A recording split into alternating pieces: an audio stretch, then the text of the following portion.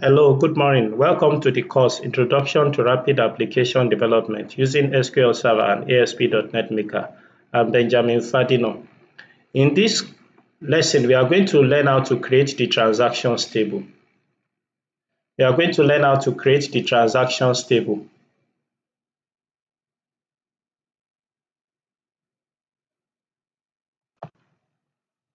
Okay, we are going to ensure that our service is running, our SQL Server service is running.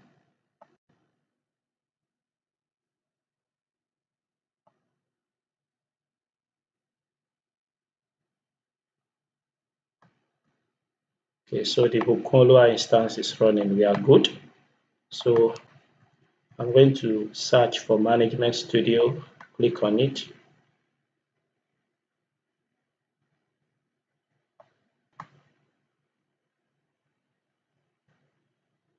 This time around, I'm going to connect using Windows Authentication. I click Connect. The objective is to create the transactions table. So I expand databases node, I expand Bank DB node. I have two tables already. So I click on tables node, I go to new. So let's have transaction ID.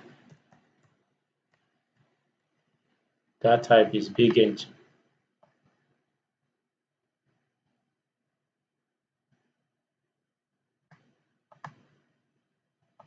Let's make it primary key. Let's set it as identity column.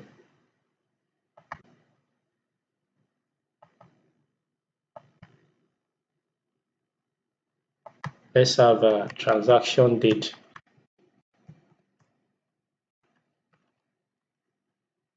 I'm going to use date time this time around.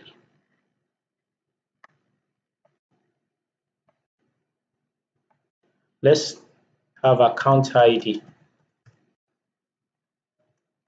This will identify on which account is the transaction being carried out.